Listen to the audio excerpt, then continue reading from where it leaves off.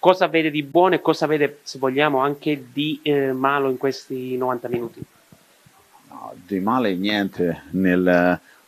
nel primo tempo è stata una partita tattica, diciamo, dove a differenza di altre volte abbiamo aspettato un pochino di più per non concedere quello che loro erano molto bravi, che loro sulla lancio lungo giocata sulla seconda punta hanno messo in difficoltà tutti.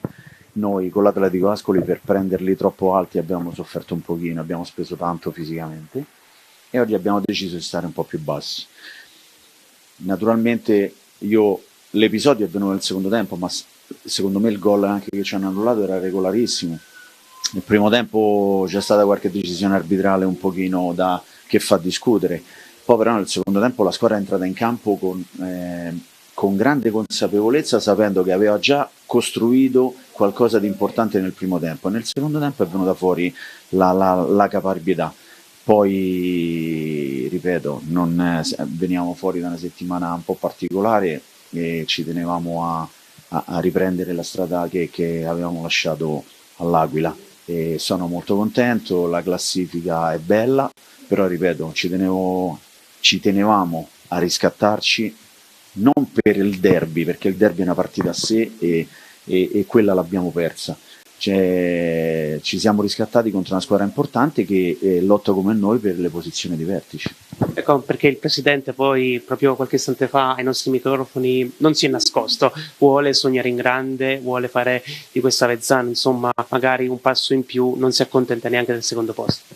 Ah, noi, ripeto, quando ti dico che non vogliamo deludere né società né tifosi, è proprio questo che intendiamo. Noi sappiamo che il presidente sta facendo grandi sforzi e che vuole arrivare a un obiettivo ben preciso, però c'è anche da dire che eh, non, non, si possono vincere partite tutte 3-0 giocando a, come, come, gioca il, Barcellona e il Manchester City, non, è normale che tutti ci aspettiamo sempre qualcosa di più, però c'è sempre da dire che dall'altra parte ci stanno squadre che preparano le partite come le prepariamo noi e, e, e, ribadisco, aver vinto oggi contro una squadra che veniva da 5 vittorie consecutive, che aveva il miglior attacco, aveva una squadra molto fisica, sulle palle da fermo concedevamo tanti centimetri, però i ragazzi oggi non hanno sofferto niente e hanno approfittato di, di quelle che, so, che sono state le occasioni che ci sono capitate. E quindi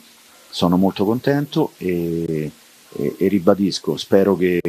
che, che, prestazioni come quelle dell'Aquila non, non ne facciamo più e che quando sarà per una sconfitta sarà perché hanno meritato gli avversari eh, nel campo per concludere, questa è stata l'ultima partita eh, da periodo novembrino, si apre appunto dicembre, si apre il mercato, il Presidente ha anche parlato di questo, ha detto che si può intervenire, se vogliamo anche la festività del Natale, i desideri magari sotto l'albero di mister Ferrazzoli per rinforzare questa Vezzano?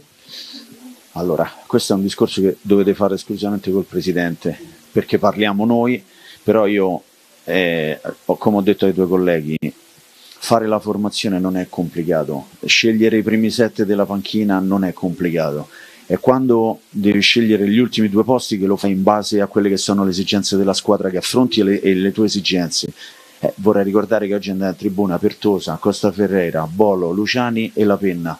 Eh, e quindi non, non, mi sento di, di, parlare del mercato. Il presidente eh, sa di, di, di quello che abbiamo parlato con i direttori, però ribadisco io